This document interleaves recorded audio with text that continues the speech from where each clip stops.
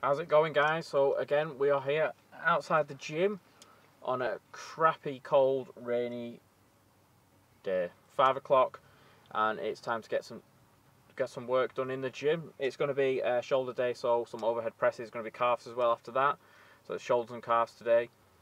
Um, really actually looking forward to the workout. It's been going good at the minute on my bulk. I've not had a bad day yet and I'm excited to see what my strength's like on the uh, overhead presses maybe do some triples, I'm not sure, maybe sets of five, probably triples to be honest with you, maybe about between five and ten sets on that, we'll see how much time I've got because it is getting a bit late and the gym's not open for that much longer, maybe another hour and a half, two hours, and the weather is absolutely shit outside. I'm freezing so I'm going to make sure I warm up properly. Very important with the shoulders, every every workout I do I always warm up the shoulders, even legs guys always warm up the shoulders. So we'll get in there, do that, get on the overhead press and see how it goes. Yep, we'll see how it goes guys, I'll see you in there.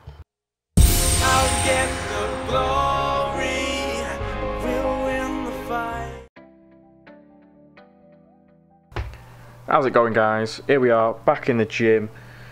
Overhead press for you. I'm loving the overhead press. If you're not doing it, it's one of the movements you want to be doing.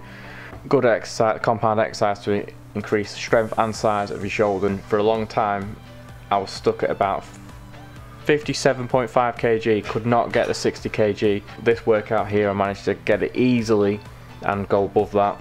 Concentrating on um, sets of three, so I'm just doing triples on this. Uh, so once a week I will do do these like these, either in triples or doubles, depending on how I feel at the time.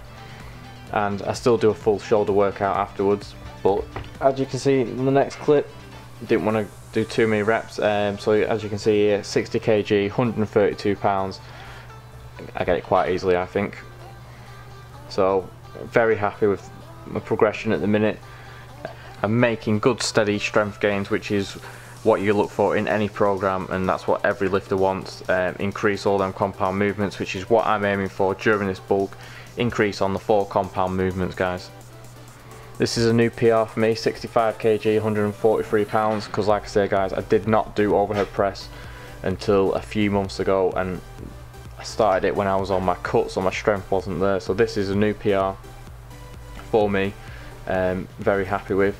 65 kg, one rep. I, I, feel I could have grinded out that second rep but I didn't want to cause injury. I still had a full shoulder workout to do. So this workout was just triples and I did um, 10 sets altogether, just showing you the 5. After that 65 kg I dropped the weight back down to 60 kg, but I could only get the 2 reps, and then I dropped it back down again to 55 kg and finished the rest of the sets doing triples on 55 kg. That's it for this video guys, hope you like it. Please like, share and subscribe, leave a comment below and I'll see you in the next one.